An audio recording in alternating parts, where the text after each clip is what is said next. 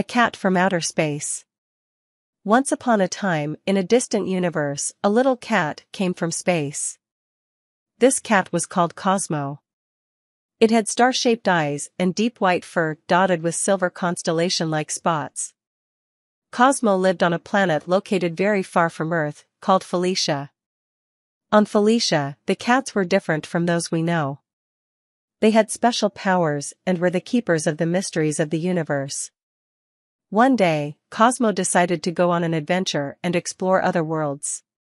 He boarded his flying saucer-shaped spacecraft, called Meow-1. With his little paws, he activated the controls and flew off into the starry sky. His first destination was Earth, a green and blue planet. Cosmo lands in a pretty garden where a little girl named Léa lived. Léa adored cats and enjoyed spending time with them. When Léa discovers Cosmo, she is surprised by his cosmic appearance.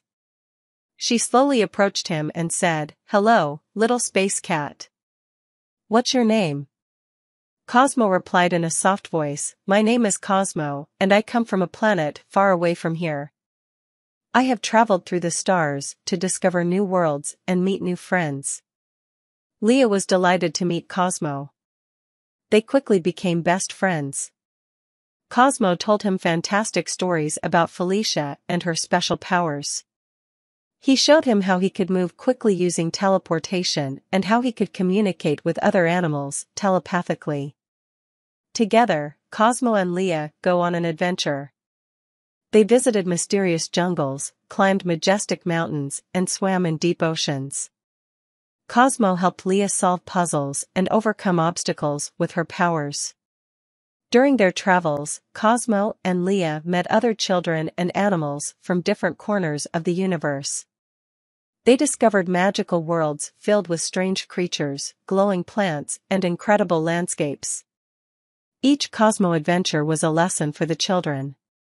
He taught them the importance of friendship, respecting nature, and exploring the world around them.